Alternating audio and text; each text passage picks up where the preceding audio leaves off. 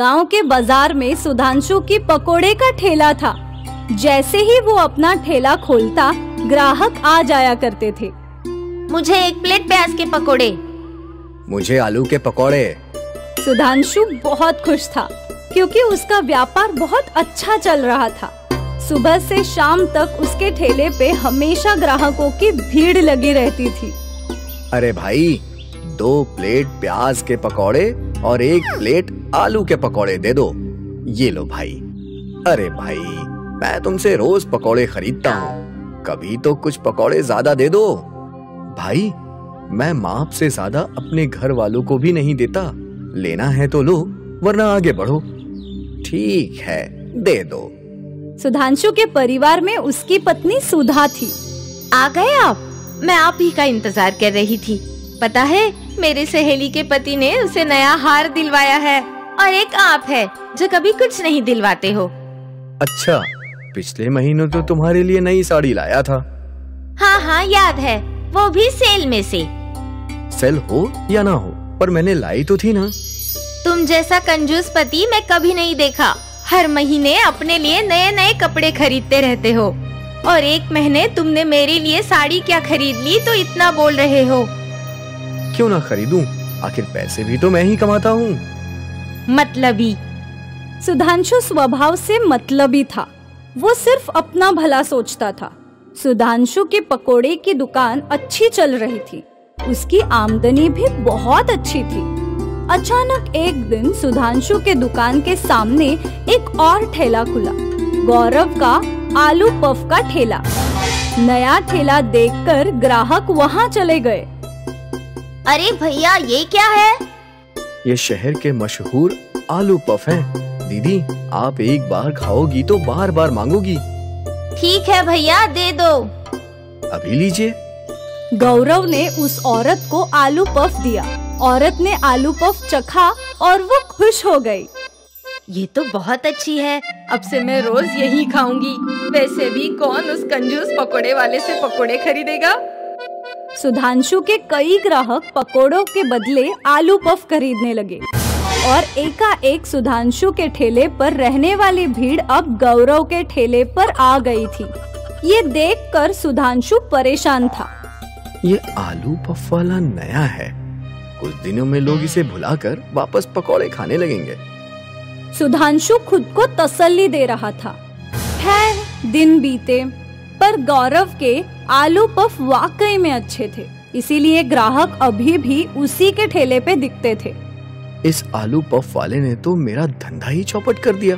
पता नहीं कहाँ से आ गया। अगर ये नहीं होता तो सब कुछ अच्छा ही चलता। सुधांशु सोचने लगा कि कैसे वो गौरव को अपने रास्ते से हटाएगा। गौरव बहुत खुश था। आते ही उसका व्यापार चल पड़ा था। हे भगवान तेरा लाख लाख शुक्र है। तूने मेरी मुसीबत हल कर दी। गौरव स्वभाव से भी बहुत भोला और दयालु था। जब भी उसके ठेले पर कोई गरीब आता वो मुफ़्त में उन्हें आलू पफ खिलाया करता था। गौरव की सारी हरकतें सुधांशु गौर से देख रहा था। ये तो बहुत ही भोला है। इसे तो आसानी से बेवकूफ़ बनाया जा सकता है पर पहले मुझे इससे दोस्ती करनी होगी। और फिर इसी सोच से सुधांशु ने गौरव से बातें करना शुरू कर दिया। अरे भैया क्या हाल चाल सब बढ़िया है। आप बताइए। सुना है आपके आलू पफ बहुत ही स्वादिष्ट हैं। कभी हमें भी खिलाइए। अरे अभी लीजिए। गौरव ने सुधांशु को आलू पफ दिया। सुधांशु ने वो चखा। अरे वाह ये तो बढ़िया है। एकदम नया आइटम है। खाकर मज़ा आ गया। आपको अच्छा लगा ना? यही काफ़ी है। ये आइटम तो आपको बड़ी दुकान खोलकर बनाना चाहिए। चाहता तो मैं भी यही हूँ, पर दुकान खोलने के लिए पैसा नहीं है। हम्म वैसे मैं भी दुकान खोलने वाला हूँ। अगर तुम्हें ठीक लगे तो एक साथ दुकान खोलते हैं, जिसमें दो काउंटर होंगे। तुम आलू पफ बेचना और मैं अपने पकौड़े। मतलब पार्टनरशिप हाँ वही। मैंने तो बड़े बाज़ार में एक दुकान भी देख रखी है। वाह, ये तो अच्छा होगा। बड़े बाज़ार में अच्छी बिक्री भी होगी। हाँ वो तो है। मैं तो कब से किसी को ढूंढ रहा था। जो आधे पैसे भरे और मेरा पार्टनर बन जाए। बड़े बाज़ार में दुकान का खर्च कितना है? यही कोई छह लाख? मेरे पास तीन है और तीन की ज़रूरत है। ठीक है, मैं देता हूँ। आपको कल बताता हूँ। ठीक है भैया। सुधांशु गौरव को अपने जाल में फंसा रहा था। गौरव घर गया और वहाँ उसने ये सब अपनी पत्नी लता को बताया। ये तो बहुत अच्छा है। मेरे पास डेढ़ लाख तो हैं, पर बाकी के डेढ़ लाख कहाँ से करूँ? आप उसकी चिंता मत कीजिए। मेरे ये गहने कब काम आएँगे? आप उन्हें गिरवी रख दीजिए और फिर जब आपके पास पैसे आ जाए तो छुड़वा लेना। ठीक है यही सही रहेगा। गौरव ने लता के सारे गहने गिरवी रख दिए। और बैंक से अपने बचत किए हुए पैसे भी निकाल लिए। भैया पैसों का इंतज़ाम हो गया है। अरे वाह तो तुम चलो कल हम दोनों मिलकर वो दुकान खरीदते हैं। ठीक है भैया। गौरव और सुधांशु ने मिलकर मालिक को पैसे दिए और फिर मालिक ने सुधांशु को दुकान की चाबी दे दी। आखिर हमारा सपना पूरा हो गया। हाँ अब एक काम करो तुम अपने ठेले पे जाओ मैं यहाँ मरम्मत और दो काउंटर लगवाने का काम संभालता हूँ। कम से कम उसी बीच में तुम कुछ तो कमा लोगे। ठीक है भैया। गौरव अपने ठेले पर पहुँचा और आलू पफ बेचने लगा। कुछ दिन बीत गए। सुधांशु का पकोड़े का ठेला बंद ही था। एक हफ़्ते बाद जब गौरव दुकान देखने गया तो उसने देखा कि सुधांशु पहले से वहाँ पकोड़े बेच रहा था और दुकान में बस एक ही काउंटर है। अरे भैया काउंटर तो मस्त है, लेकिन मेरा काउंटर कहाँ है? कैसा काउंटर? कौन सा काउंटर? ये दुकान मेरी है, यहाँ बस एक ही काउंटर रहेगा। ये तो सरासर धोखेबाजी है। इस दुकान के आधे पैसे मैंने दिए हैं। अच्छा तुम्हारे पास कोई सबूत है? और अगर है तो जाकर मेरे खिलाफ रिपोर्ट लिखवाओ। गौरव की समझ नहीं आ रहा था कि वो क्या करे। उसकी सारी जमा पूंजी बर्बाद हो गई थी। गौरव रोते हुए जंगल की ओर चल पड़ा। हे भगवान ये क्या कर दिया? मैंने क्या सोचा था और ये क्या हो गया? इससे अच्छा तो मुझे मार ही देता। गौरव का रोना सुनकर वृक्ष देवी उसके सामने आई। गौरव तुम्हें परेशान होने की ज़रूरत नहीं। तुम तो एक अच्छे इंसान हो। तुमने कई लोगों की मदद की है और वही अच्छाई आज तुम्हारे काम आएगी। वो कैसे? इस पेड़ के ताने में हाथ डालो। जो भी तुम्हें मिलेगा वो तुम्हारा है। ठीक है। गौरव ने पेड़ के तने में हाथ डाला तो उसके हाथ में सोने के सिक्के लगे। गौरव ने मुट्ठी भर के सिक्के बाहर निकाल लिए। धन्यवाद आपका। बहुत बहुत धन्यवाद। इस सोने से मेरी ज़िंदगी बदल जाएगी। याद रहे अच्छे काम करना मत भूलना। मैं हमेशा लोगों का भला करते रहूँगा। गौरव ने लता के गहने छुड़वा लिए नया घर ले लिया और एक दुकान भी खरीद ली। आखिर उसे जो भी चाहिए था वो सब मिल गया। वहाँ दूसरी ओर सुधांशु की बुराई की वजह से उसका व्यापार डूब गया। उसे दुकान बेचनी पड़ी और वो वापस रोड पर आ गया। इसलिए कहते हैं, कर भला तो हो भला, और कर बुरा तो हो बुरा. अशोक खेतों में मजदूरी का काम करता था। वो एक अनाथ था, उसका कोई नहीं था। रोज रास्ते में उसे एक आम का बगीचा दिखा करता था। अशोक रोज ताजे ताजे रसीले आमों को देखा करता था। उसका बड़ा मन होता था कि वो आम खा सके। पर उस बगीचे में एक मोटा सेठ हमेशा चिल्ला रहा होता है। अरे निकम्मो तुम लोगों को काम करने की तनख्वाह देता हूँ। काम करो। उस सेठ की आवाज़ सुनकर अशोक चुपचाप अपने रास्ते चला जाया करता था। एक शाम की बात है अशोक खेत से लौट ही रहा था तो उसका ध्यान आम के बगीचे पर गया। क्या बात है? आज कोई आवाज़ नहीं आ रही है। लगता है आज सेठ कहीं बाहर गया होगा। अशोक बगीचे में झांकने लगा तो उसका ध्यान एक आम पर पड़ा जो बगीचे के बाद पे लटक रहा था।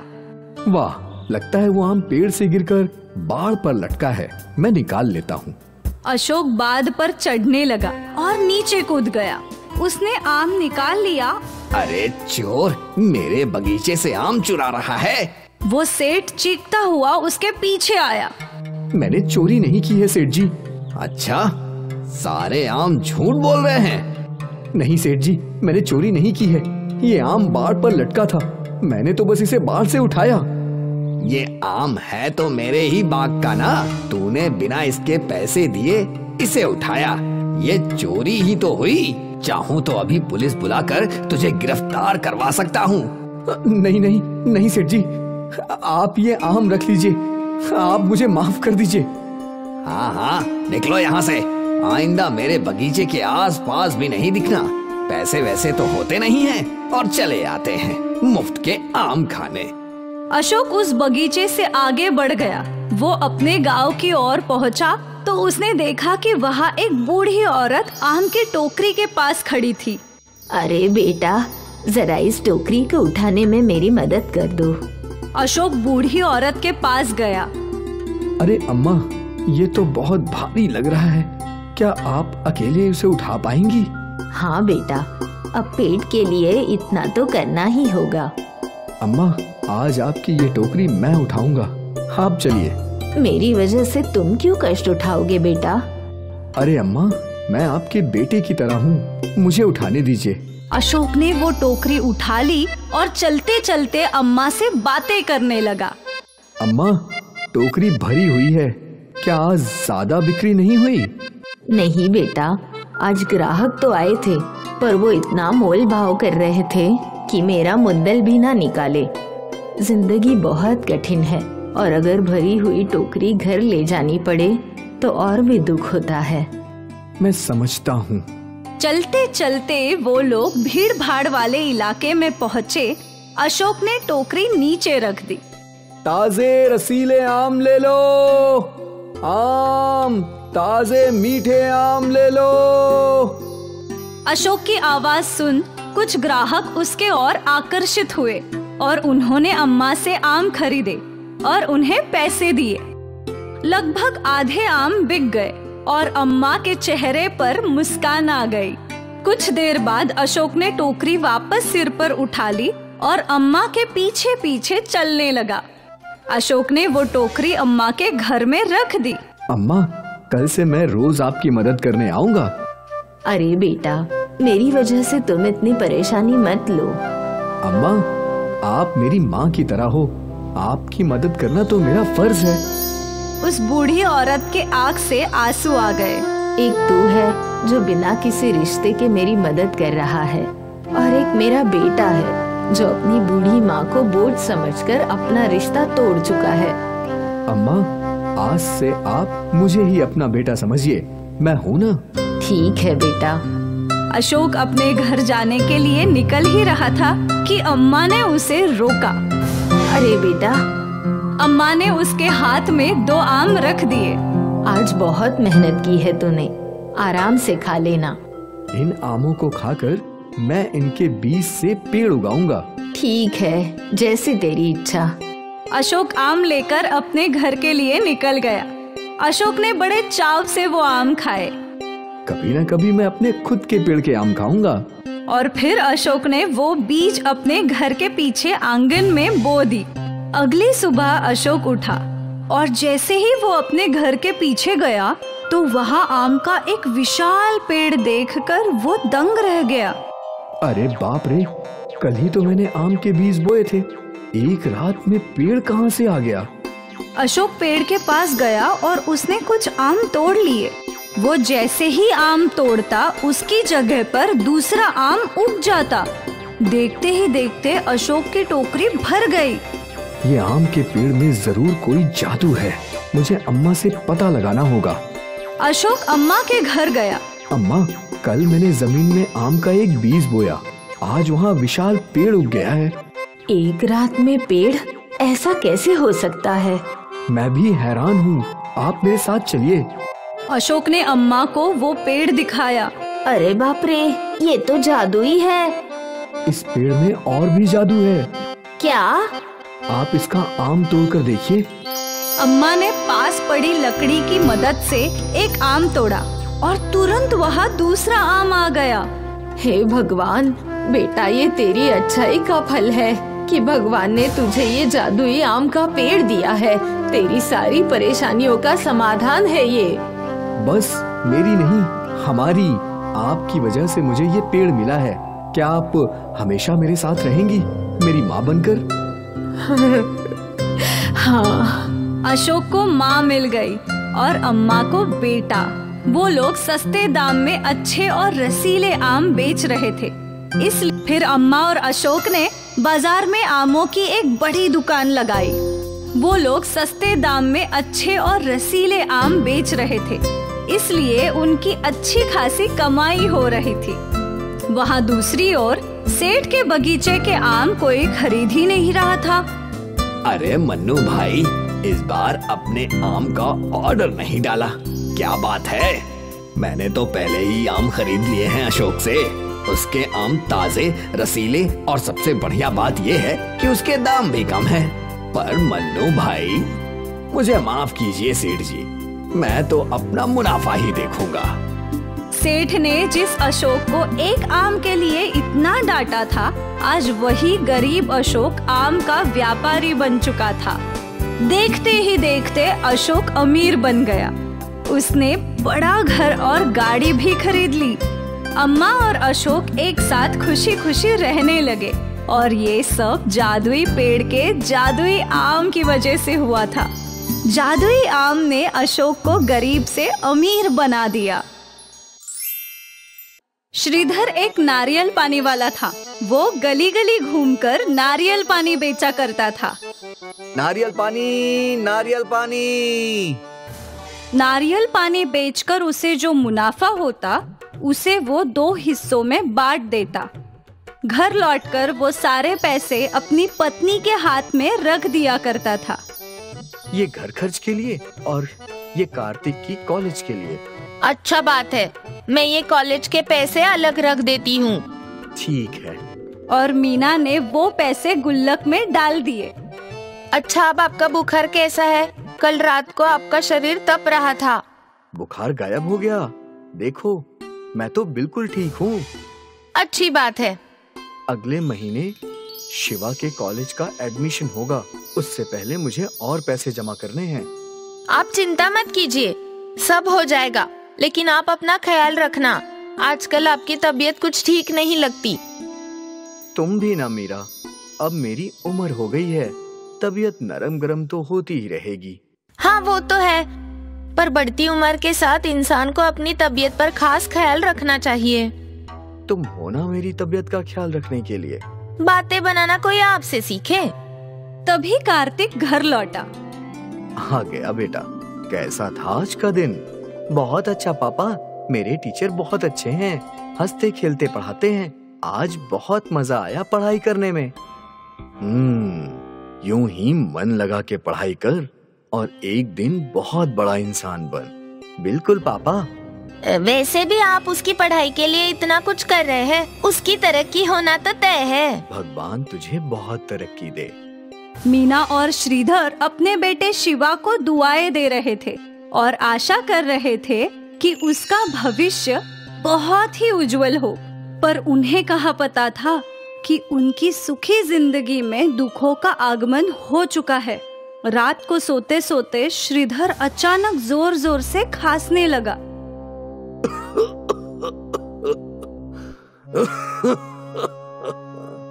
उसकी खांसी से मीना और शिवा भी उठ गए।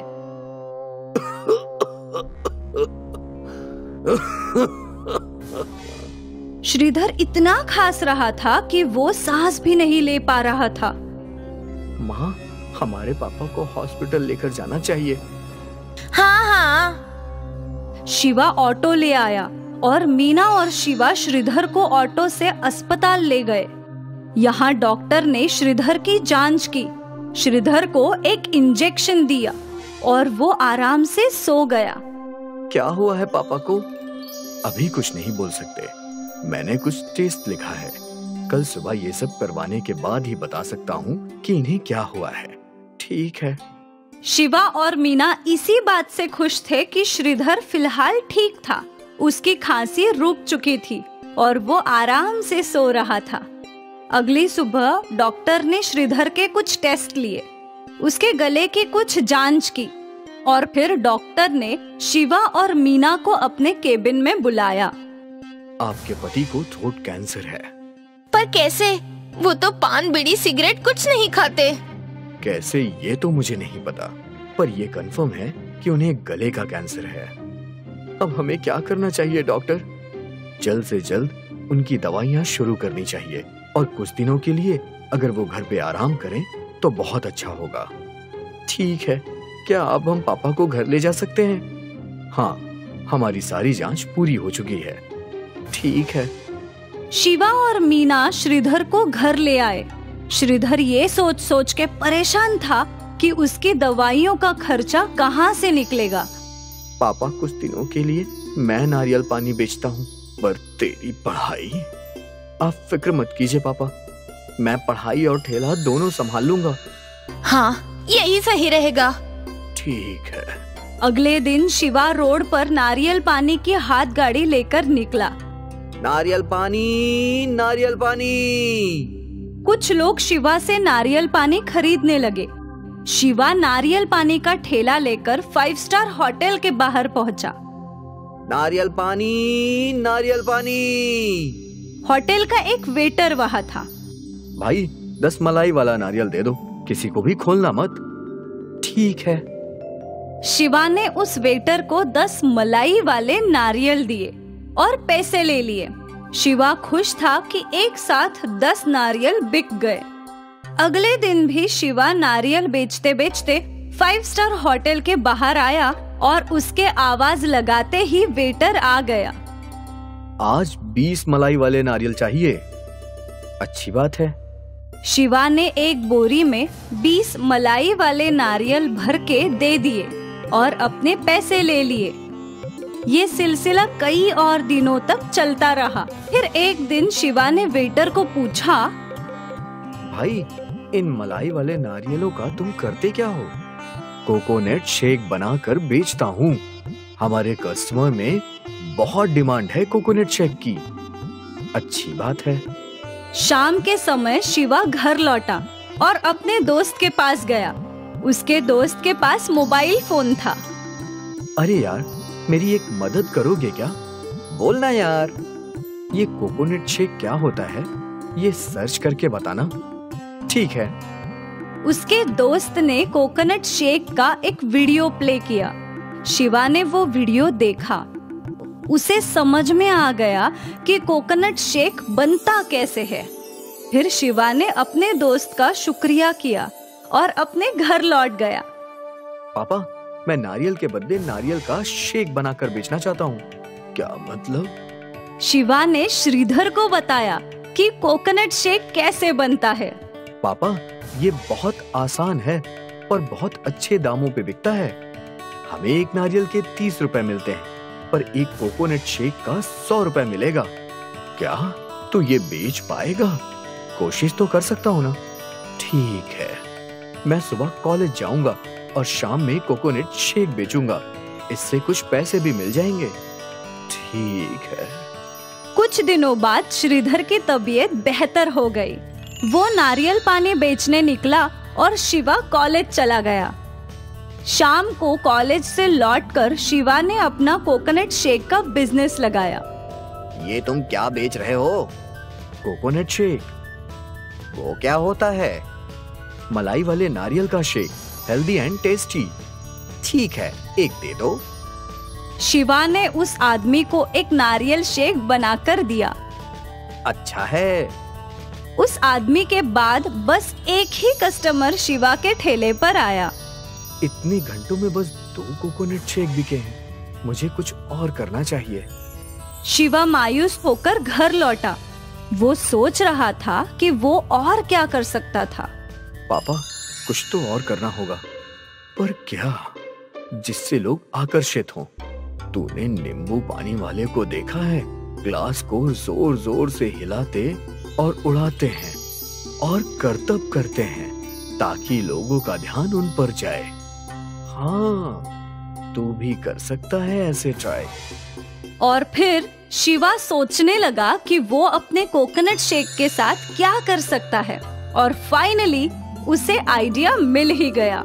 अगली शाम को जब शिवा ने अपने कोकोनट शेक का ठेला खोला तो उसने लोगों को आकर्षित करने के लिए नारियल को उड़ाया और फिर मलाई से नारियल शेक निकालकर उसमें दूर से क्रीम डालने लगा।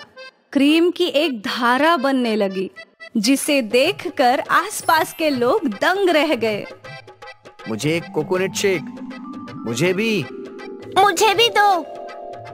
और उसके करतब को देखने के लिए लोग उससे कोकोनट शेक खरीदने लगे।